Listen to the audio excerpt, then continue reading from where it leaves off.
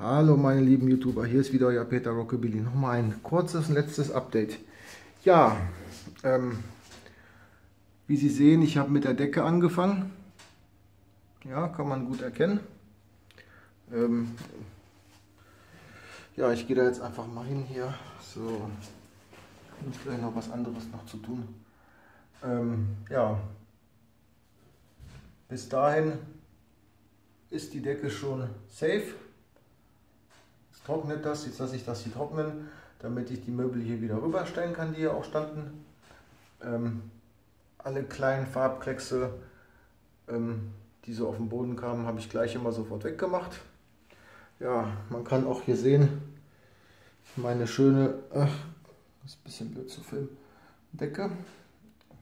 Das ist so eine Renovier-Malerdecke, die ist extra dafür gedacht. Und ja, bei dem Bett ist es ja so, das Bett, das steht ja momentan so. Da werde ich dann was auf den Boden packen. Dann kann ich es nämlich so hinstellen und dann erstmal an die Seite schieben. Oder Rücken oder wie man das auch nennt. Und dann den mittleren Teil der Decke streichen. Ähm, also den hier über mir.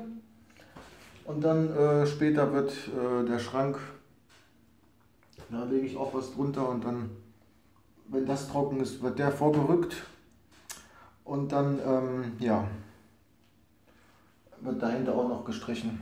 Und alles, was man da abkleben muss, abdecken muss, Heizkörper und sowas, klar, ist normal.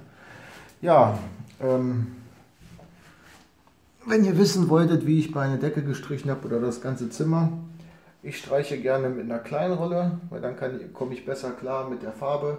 Wenn ich mit einer großen Rolle streichen würde, dann würde es hier aussehen, ähm, wie als wenn einer, wie als wenn ein kleines Kind hier gegessen hätte und hätte einfach ähm, ja, mit seinem Babybrei umhergespritzt. Ja, des Weiteren ähm, eignet sich das auch gut für die, für die Decke. Das, das spritzt so gut wie gar nicht.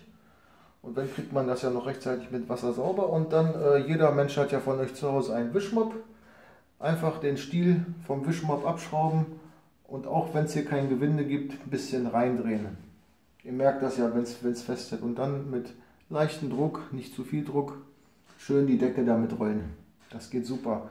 Da könnt ihr euch von Weitem so hinstellen und dann, mal gucken, der Stiel, der ist ja ausziehbar und ihr müsst euch das dann so vorstellen, na, ihr habt ja jede Menge Platz und könnt dann quasi so, könnt dann quasi so, so eure Bahn rollen. Ne?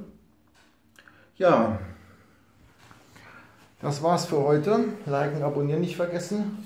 Ich werde jetzt hier noch ein bisschen die kleinen Farbspritzer wegmachen und ähm, lasse das erstmal trocknen, dass ich die Möbel rücken kann. Und dann geht es morgen weiter. Die Farbe deckt gut, so viel kann ich auf jeden Fall sagen. Und ähm, ich brauche Gott sei Dank nicht zweimal drüber zu gehen, weil wie gesagt, je nach Lichteinfluss ähm, kann die Farbe mal hell und mal wieder ein bisschen dunkler wirken. Jetzt sehen, jetzt sehen wir ja gerade, jetzt haben wir draußen nicht mehr so viel Licht im Schlafzimmer und deswegen ist ein Anstrich vollkommen ausreichend. Gut, ich hoffe das Video hat euch gefallen.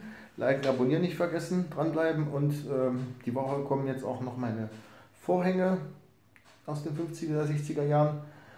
Da wird es auch noch ein kurzes Video von geben.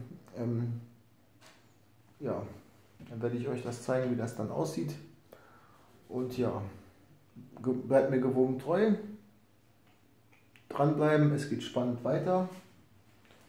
Ähm, ja, was kann ich noch sagen? Ich bin auch noch die Woche unterwegs.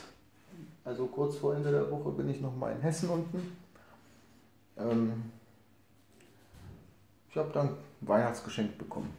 Ähm, dieses Video lade ich aber erst hoch, wenn hm, ist natürlich was aus den 50er, 60er Jahren.